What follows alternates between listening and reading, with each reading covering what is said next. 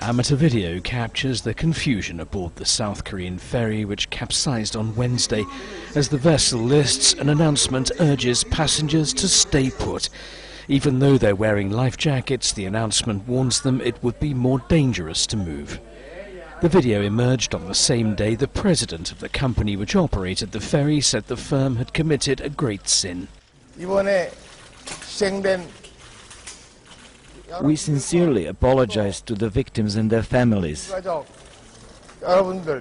as well as the people of the country.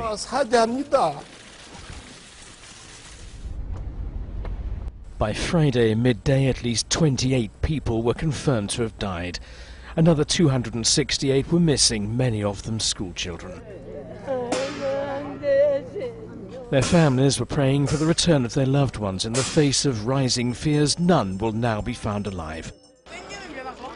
On Thursday, South Korean schools held candlelight vigils for the missing, and investigations underway into the cause and the conduct of the crew, some of whom witnesses said fled the vessel.